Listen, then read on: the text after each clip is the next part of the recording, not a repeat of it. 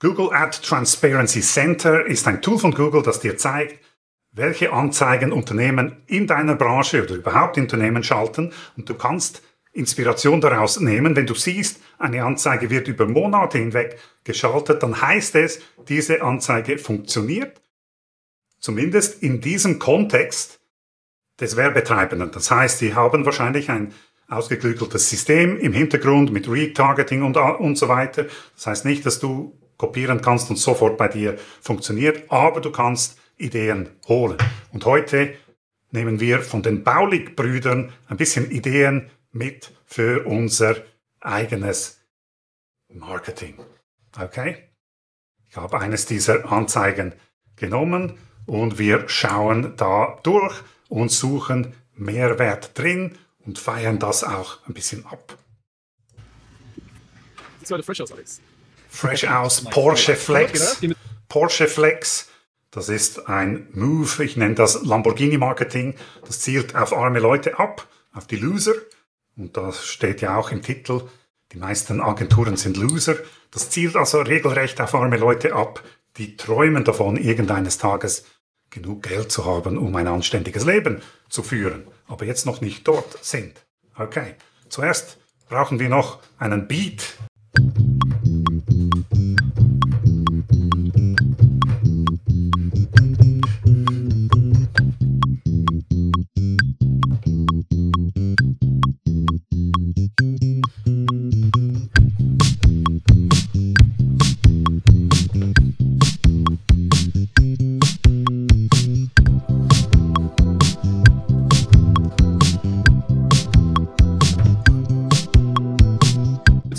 Sehr gut. So, wir sind wieder unterwegs im Auto nach Köln. Heute mal mit einem anderen technischen Setup hier. Unser Kameragame wird immer mehr improved. Ich will mal ein bisschen darüber reden, wie dumm sich die meisten Leute, vor allem im Agenturenmarkt, irgendwie anstellen in letzter Zeit, weil sie irgendwelche total bescheuerten Ideen sich reinziehen von irgendwelchen anderen Agenturenhabern. Und mir geht das allgemein ziemlich auf den Sack. Das ist einfach erwidert. Okay, er leidet schon ein bisschen. Trotz seinem Porsche geht ihm einiges auf den Sack. Es Dinge gibt, die funktionieren. Und ihr denkt dann immer so, yo, weißt du was, ich mach doch mal was eigenes, weil ich dann irgendwie ich habe keine Lust, das zu machen, was funktioniert. Ich probiere mal was eigenes. Ich mache eine Sidequest auf. Ich probiere mal irgendwas aus, was zum Scheitern verurteilt ist, was sowieso schon vorher feststeht. Aber komm, ich teste das selber aus. Ja, Beispiel. Irgendjemand geht wieder hin und sagt so, yo, ich schaffe das mit der Kaltakquise nicht. Äh, bei meinen Calls höre ich die ganze Zeit negativ Feedback. Und anstatt mal auf den Gedanken zu kommen, an den eigenen Fähigkeiten zu arbeiten, mal vielleicht das Skript auf ein Level zu bringen, dass etwas Relevantes gesagt wird. Nein, was machen sie dann? Sie rufen einfach zum Beispiel kleinere Unternehmen an. Ja, normalerweise rufen Unternehmen an, die groß genug sind, dass sie irgendwie fünfstellige äh, Agentursummen zahlen können. Aber nein, weil man da irgendwie nicht durchkommt, aber irgendeine Scheiße labert am Telefon, einfach gar keinen Plan auf Kaltakquise, senkt man lieber den Standard, der Leads anruft, ruft plötzlich irgendwelche Kle Das ist schon ein bisschen Mehrwert. Wenn man nicht Erfolg hat mit den ersten Versuchen, vielleicht nicht dann direkt kleinere Brötchen backen und Leuten anrufen, die fast kein Geld haben. Okay? Also Wunschkunden musst du dir ein Bild vor Augen malen. Wer sind deine Wunschkunden? Wie ticken sie? Nicht nur Demografie, aber wenn du merkst, dass diese Gruppe von Leuten, die du als Wunschkunden definiert hast, einfach schlichtweg kein Geld hat, dann ist es wahrscheinlich wirklich nicht die beste Basis für ein Unternehmen. Okay. Kleinen äh, Winzbuden an, erreicht dann da ein paar mehr Leute. Ja, natürlich ist es dann so. Also, also nicht die Winzbuden, nicht die Winzbuden. Winzbuden. Man ein paar mehr Termine bekommt. Macht man deswegen mehr Geld? Nein, weil jetzt jeder einzelne Kunde, der da am Telefon ist, oder potenziell Interessent besser gesagt, einfach ein winziger, winziger, winziger Anbieter ist, der selber kein Geld hat nicht auf die winzigen, winzigen, winzigen Anbieter. Äh, gehen die Recruiting-Firmen zu denen und closen an jemanden für Recruiting-Kampagnen, schalten dann irgendwie für zwei Stellenanzeigen Ads, kriegen dafür irgendwie 5000 Euro oder sowas und wundern sich dann, dass nicht in Business vorangeht, weil der nach zwei besetzten Stellen wieder sagt, okay, Dankeschön, vielen Dank für die Zusammenarbeit, das war's aber jetzt.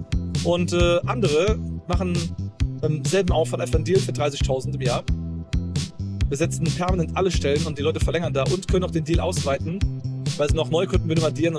Das ist jetzt ein bisschen bla bla, ein bisschen langweilig. Ein Tief in diesem ganzen Flow. Digitalisierungsdienstleistungen oder Imagevideos und so weiter und so fort. So. Es liegt einfach daran, dass ihr einfach immer denkt, dass eure eigenen Ideen voll Genius sind, nur weil im ersten Moment was bewertet, was ihr versucht, einfach nicht funktioniert. Also, das Problem, dein Problem ist, dass du immer denkst, wenn etwas nicht funktioniert, heißt das, du bist ein Genie. Das geht nicht, das nehmen wir hier raus. Wenn etwas in die Hose geht, heißt das nicht, dass du ein Genie bist. Was aber an euch liegt, und einfach euch keine Mühe gibt. Ihr einfach gar keine Mühe, Du gibst dir keine Mühe. Das ist auch ein Problem. mal ansatzweise sinnvoll vorzugehen. Oder Nicht mal ansatzweise sinnvoll gehst du vor. Ah, ja, ihr holt euch irgendwelche schwachsinnigen Ideen rein. und die ganz schwachsinnigsten Ideen. Wann hört das auf? von irgendwelchen anderen Agenturen, die Und dann von anderen Agenturen. Nicht von meiner, nicht von seiner. Okay. alle komplett lost sind, einfach auch nicht auf Die sind komplett lost. Level performen. Das heißt, ihr hört dann irgendwie von irgendeiner anderen 40k im Monat Butze, Die 40k im Monat putzen. Hört auf, auf die zu hören. eine Agentur mag irgendwelche Bros von euch oder irgendwelche Hören sagen, über irgendeine andere Agentur hatte dann, Nicht die Bros, nicht die Bros. die das angeblich machen. Ja, zum Beispiel, ja, irgendwie sowas Schwachsinniges wie Setup zu provisionieren zum Beispiel. Ja, die provisionieren die dann und das klappt richtig gut, damit kriegen die richtig viele Leute, die sie heiern können und so. Ja, super. Dafür ist dann aber auch der Vertrieb zum Scheitern verurteilt, weil die ganzen Leute irgendwelche Schrotttermine in den Kalender reinjagen und dann Schrotttermine. Hm. Zweimal pro Jahr vielleicht Schrotttermin. Sonst Closer überarbeitet ist und irgendwie zwei Closer nötig sind, um irgendwie 40k zu machen im Monat, was normalerweise mit zwei Kunden schon drin sein sollte. Die einer nebenbei closed ohne richtige Auslastung. Also ihr habt einfach komplett abstrakte, lost Ideen, die ihr teilweise irgendwo übernimmt. Einfach nur, weil ihr denkt, es besser zu wissen. Wenn du bist der Besserwisser. Nimm's von ihm. Du bist der Besserwisser. jemand wie ich wirklich eine neunstellige Summe umgesetzt hat und System entwickelt, mit dem seine eigenen Agenturen, weil was ihr nicht checkt, ich habe ja auch Agenturen. Ich bin ja Mitinhaber über unsere Holding bei diversen Beteiligungen von uns, die Agenturgeschäft und auch Softwaregeschäft machen. Und ich habe jetzt mehrere tausend Agenturen beraten und nahezu jeder, der mehrfach sechsstellig äh, mit einer Agentur macht in Deutschland, ist irgendwann Kunde bei uns gewesen. Okay? Das heißt also, ich weiß ganz genau, wie es funktioniert. Und jetzt geht ihr hin und es geht nicht mal um, um, um nur Kunden von uns, sondern viele Informationen sind ja auch bekannt, weil ich auch bei Videos hier preisgebe und so weiter und so fort. Jetzt geht ihr hin und weicht davon ab, weil ihr denkt, ihr wisst irgendetwas besser mit eurem 30k Umsatz im Monat. Mit welcher Berechtigung? Mit welcher Berechtigung nehmt ihr euch heraus, durchgetestete, Mit welcher Berechtigung nimmst du dir heraus, irgendwie was Kreatives zu tun? Etwas nicht Bewährtes, etwas nicht von ihm abgesegnetes. Sachen zu ändern. Euch mal ein einziges kurzes Beispiel. Hier, wir blenden jetzt mal an der Stelle von der Seite Umsatz.io den Part ein auf der Seite, wo man die Calls sieht, die bisher getätigt wurden über die App. Also auf jeden Fall über 2,9 Millionen Anrufe, die allein getätigt wurden, sagen wir im letzten Jahr bei Umsatz.io, seitdem haben wir angefangen, das so zu tracken, von vielleicht einer niedrigen vierstelligen Anzahl von Vertrieblern, die auf der Plattform drauf sind. Ein guter Teil davon sind Bauli-Kunden, ein Teil davon macht explizit Cold Calls, explizit äh, DMC-Strategie, explizit andere Formen der telefonischen Kaltakquise. Jetzt haben wir alleine hier also messbar, sagen wir bei unseren Kunden davon mal mindestens irgendwie 2 Millionen Cold Calls, großteils drin wahrscheinlich auf dieser Plattform. Jetzt gehst du hin und denkst dir, nö, weißt du was? Ich, ich schreibe heute mal mein eigenes Skript. Warum nicht? I feel lucky. Ich mache einfach mal meinen eigenen Scheiß heute. Und dann denkst Du gehst hin und denkst, du könntest Glück haben. Wie kommt dir das in den Sinn? zur Hölle, befähigt dich dazu, existente Sachen, die funktionieren, abzuändern. Warum denkst du, oh, wenn es ein System gibt mit gewissen Regeln, mit gewissen Erfahrungswerten, die gesammelt wurden, dass du dich daran nicht halten musst? Wie kommst du auf diese abstrakte Idee? Wie viele Wie kommst du darauf, dass du dich nicht an die Regeln halten musst von ihm? Got's noch? Millionen Cold Calls hast du quasi ausgewertet? Wie viele tausende Stunden hast du in Live-Calls verbracht, um Feedback zu geben und dann die Daten davon zu sehen zum Thema Cold Calls? Wie viele Cold Calls haben deine eigenen, Okay. keine Ahnung, 10, 12 Mitarbeiter, wird's wieder ein bisschen langweilig. du in deinen Firmen hast, die Kaltakquise machen? Du hast doch gar keinen Plan. Du hast einfach absolut gar keine Ahnung. Deswegen ist es so Was sicher ist, du hast keine Ahnung. witzig, einfach, ich mir anhöre, wie irgendwelche komplett verkappten Leute hingehen und existente Prozesse einfach vollkommen lost aufweichen. Nächstes Thema, ja? Hiring. Das ist auch so ein Ding. Es ist absolut und in jeder Hinsicht erwiesen, dass gewisse Menschen auf gewisse Jobs nicht draufpassen. Da gibt es diverse Persönlichkeitstests, die man machen kann. Und man sollte einfach diverse Vollidioten nicht in die eigene Firma lassen, nicht einstellen. Okay, das ist ein Learning. Das haben wir heute gelernt. Vollidioten nicht einstellen. Feiern wir das ein bisschen. Mehrwert. Keine Vollidioten einstellen. aufschreiben. keine Vollidioten in eine Firma reinlassen. Weil, stell dir vor, du hast 15 gute Leute, du hast ein eingespieltes Team, jetzt kommen ein, zwei Knalltüten da rein in eine Firma, irgendwie sind brillant, gar lästern rum, machen irgendeine Scheiße, ähm, sorgen dafür, dass irgendwas Kritisches irgendwie nicht geil gemacht wird oder, oder sorgen. Wir lernen auch ein bisschen die neue Art von Ads, oder? Viel Scheiße, Vollidioten, dumme Ideen, abgekackte Versuche. Kriegen gesponnen werden, die zerschießen dir so ein A-Player-Team binnen drei bis vier Monaten, easy peasy, lemon squeezy nebenbei. Es stimmt allerdings, dass es so ist, dass wenn man die falschen Leute ins Team holt, das Team sehr schnell weniger performt. Das ist tatsächlich so, aber nicht wirklich neu. Und ähm, dann ist deine Firma komplett im Arsch und du hast einfach ein halbes Jahr Progress verloren, weil du irgendwie vier, fünf Leute wieder neu heiern musst, weil die einfach gekündigt haben, weil einer Hintergrund irgendwelche Ja, Scheiße das ist jetzt äh, nicht wirklich ja, so. oder, neu. oder einer von denen ähm, sorgt dafür, dass alle irgendwie sich so zusammenrotten und Ja, irgendwie anfangen, ja, ja. als Geschäftsführer irgendwelche Ultimaten zu stellen. Und dann musst du da einmal Tabula Rasa machen. Ja, ja. So. Jetzt Ja. gehst du hin, weil du zu blöd bist, Ja, den genau. richtig zu machen, weil du nicht in der Lage bist, Ads zu schalten, die im halbwegs performant sind. Du bist blöd, zu blöd für Ads. Holst dann rum, Zu blöd für Ads. seit drei Wochen jemanden zu finden, hab noch keinen eingestellt, äh, holst dann rum. So, jetzt denkst du dir aber, nein, warte, ich frage jemanden, der größer ist, ja, der schon so 30 Mitarbeiter hat, mehrfach sechsstellige Monatsumsätze, bei dem wird es ja wohl laufen, wenn der mir dann sagt, ey, wir machen keinen Persönlichkeitstest, wir stellen einfach jeden ein mit einem Probetag, dann kommen die vorbei, wenn der Vibe passt, dann stellen wir die einfach ein, wuhu, ja. Und dann sagst du, wenn die das aber machen, ja, wenn die das anders machen, als der Andreas das vielleicht sagt oder der Markus, dann äh, gibt es ja wahrscheinlich mehr als einen sinnvollen Weg, das irgendwie zu skalieren aufzubauen. Ja, denkst du, denkst du aber, was du nicht bedacht hast, ist dich zu fragen, oh, warte mal, bei der Agentur da drüben, ja, die so groß ist und so super scheint, so, wie viel Geld verdienen die eigentlich noch? Wie groß sind die Fixkosten geworden? Was zahlen die für die Mitarbeiter? Das ist effizient, was die machen. Wie lange sind die ganzen Mitarbeiter da schon? Weil wir in einem halben Jahr irgendwie 15 extra Mitarbeiter aufgebaut haben, nicht aus der Probezeit raus, weißt du noch gar nicht, ob die alle noch entlassen werden oder ob das Ding überhaupt noch läuft im halben Jahr. Jetzt nimmst du die Tipps an von irgendeiner, ja, ich sag mal, also immer, euer Problem ist ja, ihr denkt, dass jemand, der 3, 4 Millionen im Jahr macht, groß ist. Das ist aber immer noch kein großes Unternehmen, okay? Aber sind die Tipps an von jemandem, der 3, 4 Millionen im Jahr macht, mal Space. Das sind keine Persönlichkeitstests. Was aber nicht wisst, im Hintergrund haben die gar keine Marge mehr. Da haben wir gar keine Umsatzrendite mehr, die machen gar keine Kohle, weil diese Wackos, die sie eingestellt haben, die ganzen Mitarbeiter so scheiße Die meisten Agenturen mit 3, 4 Millionen Umsatz machen gar keine Kohle mehr, weil sie Wackos eingestellt haben. Dass jegliche Effizienz abhanden gekommen ist. Da geht nichts mehr, da passiert nichts mehr, da bleibt einfach nichts mehr hängen. Äh, der, der, äh, der Inhaber ist komplett überfordert, kriegt das Management 0,0 hin. Was machen sie dann? Sie nehmen sich irgendeinen Dude, bei Google gearbeitet die Anzeige funktioniert. Stellen ihn als irgendwie Head of Culture ein, ja. Zahlen ihm irgendwie 90.000, 100.000 Euro Gehalt im Jahr, damit er anfängt, die Leadership und die Vision auszuarbeiten. Dann geht der Typ hin, der wird dann eingestellt.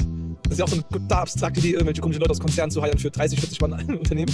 Die gehen dann hin und machen dann irgendwie, keine Ahnung, die, die, die machen aus deinem Business irgendwie Leftist Utopia. Und Das stimmt allerdings, dass Corporate-Leute nicht in die kleinen Agenturen passen oftmals. Leider auch schon erlebt. und sorgen dafür, dass alle ihren Safe Space haben und so weiter. Und dann geht das noch mehr ab. Dann, dann was dann immer passiert, achte mal drauf. So viele Agenturen haben Tabula Rasa gemacht. So viele Agenturen haben wir irgendwie skaliert auf 40, 60 Mitarbeiter. Da haben einfach wieder 20, 30 Mitarbeiter einfach rausgeschmissen, weil sie einfach die ganzen Vollidioten geonboardet haben. Es ist einfach unfassbar.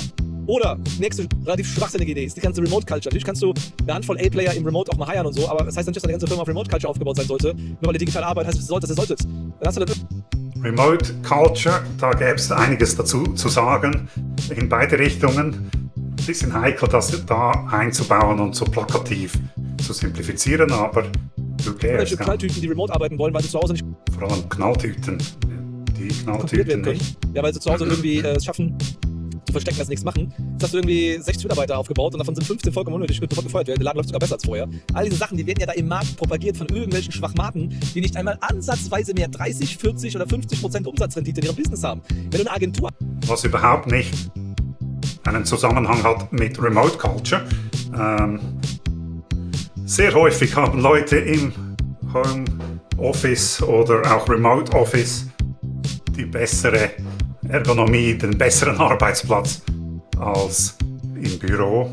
Aber das ist ein anderes Problem. Das ist ein Also, dass anderes die einfach mal mindestens 30% Umsatzrendite, egal auf welchem Level. Ja, sagen wir bei 10 Millionen, wenn du noch 2 Millionen Profit machst, okay, whatever. Aber wenn du 5 Millionen machst und jetzt sind mindestens 2 Millionen Profit, what the fuck machst du da eigentlich?